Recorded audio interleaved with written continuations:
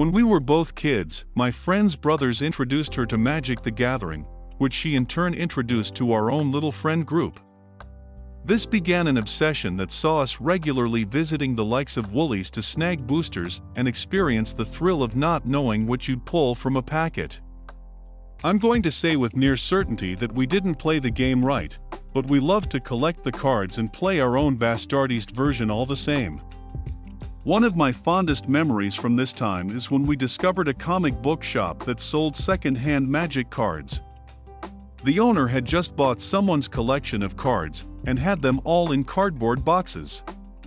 He let us sit there for hours on end, going through each box and meticulously picking out all the cards we wanted. We weren't really clued up on what was good, we just knew what we liked and chose based on that. That owner probably found us funny, maybe even pitted us, but it didn't matter to us as we were happy. The same cards from those days are still kept somewhere in my storage today. I hadn't thought about that memory in a long while, but as soon as I started playing Kardboard Kings, Card Shop Simulator, it all came back to me in a rush of nostalgia. I can practically smell that box of old cards just thinking about it. This game has you running your dad's old Warlock trading card store with the aim to become profitable, all while giving your busted up store a much needed makeover and solving the mystery of the legendary cards.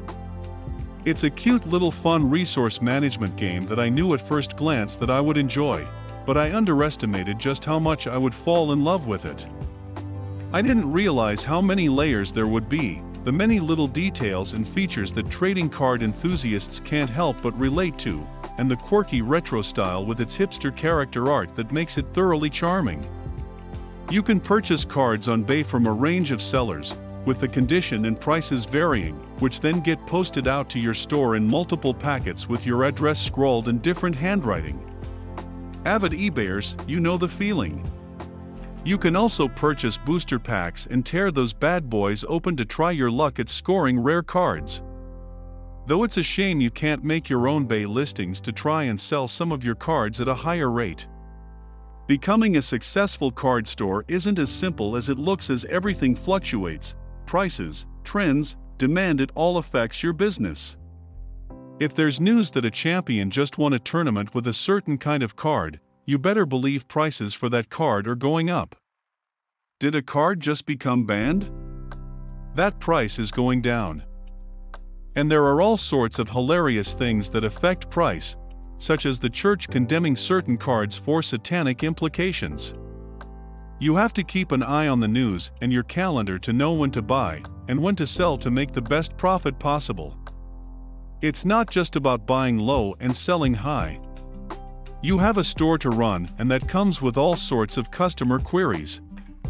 People will come in and ask you to value their cards, purchase cards, trade cards, or generally ask to borrow your superior warlock knowledge. Customers will call with specific requests, and whether it's a phone call or a walk-in customer, the great thing is, it's up to you whether you want to be a decent person or absolutely swindle them.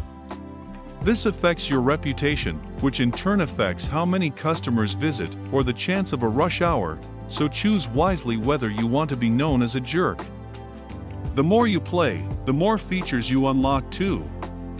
As new card sets get released, you'll throw launch parties, you can plan booster drafts where you and your mates split the cost of a box of boosters and then share the wealth. With booster drafts, you get to feel the packets to get a hint of what's inside.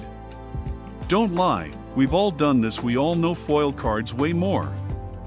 You can also host tournaments which can affect your reputation and market prices, as well as giving you an opportunity to make some quick cash if you bet right.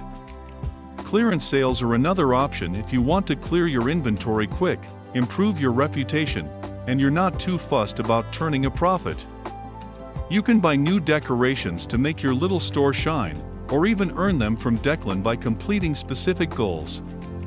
Completing shop goals, such as buying a certain number of cards or making a specific amount of cash from one sale, will also get you tags these are special little stickers you can pop on your cards to help affect sales, price, and reputation.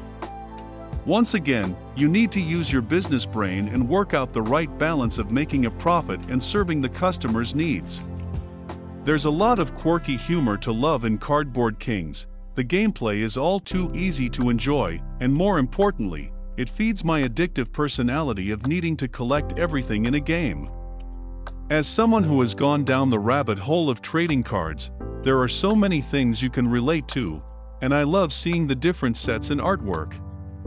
As I rip off virtual kids with my battered cards in Harry's card store, I'd like to think I would make the comic book store owner from my childhood proud.